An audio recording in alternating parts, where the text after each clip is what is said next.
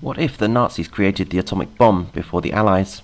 There is little doubt that Hitler would have used the atomic bomb had he had had access to one, given his fascination with so-called wonder weapons. After all, this is the same regime that pioneered the use of a technology that would later become the basis for the ICBM or Intercontinental Ballistic Missile. Hell, the Nazis even enlisted mosquitoes in biological warfare. If Germany developed nuclear weapons first, it could well have been game over for the Allies, as Germany may have been able to win on every front had they done this. Lucky for us, the Nazis never saw the value in such a weapon, so closely linked to Jewish science, leaving us with the question,